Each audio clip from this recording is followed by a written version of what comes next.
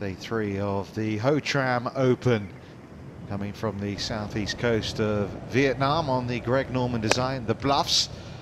And it's not been the best of years for Thomas Bjorn, but it could end on a high. Played very nicely in the third round, 68 on his way to six under par through three days.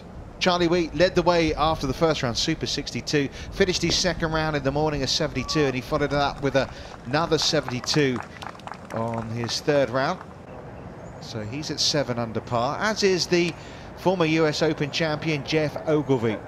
This is a approach shot to the 18th, setting him up for a third birdie in a row to conclude his round. Excellent shot from the Australian and a 67. He has a sniff of a chance heading into the final round. Paul Peterson's yet to win on the Asian Tour. He's sixth on the order of merits, having a great season. Look at his reaction here to holding a birdie at the last. Nine under par, 68, leaves him four back. Thaworn Wiratchant, well, he has one on the Asian Tour. 18 times to be precise. He has a chance at number 19 after a 68, leaves him at 10 under. Himmat Rai, he's had a tough time of things the last couple of years, but signs are his game is getting back to the shape that saw him win in Singapore a few years back.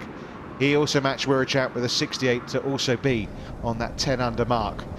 Some great golf from Sergio Garcia in the third round. The odd blip as well, but he's lurking. A 68, he's just two back heading into the final day.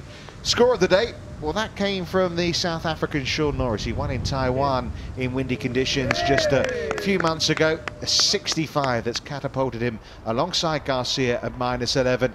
They're both two shots behind this man, Lin Wen-tang, who leads the way at 13 under.